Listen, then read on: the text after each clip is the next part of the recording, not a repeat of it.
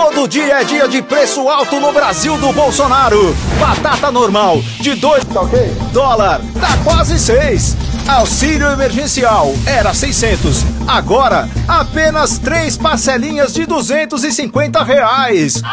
Cheques na conta da Michele, pelo menos 89 mil reais.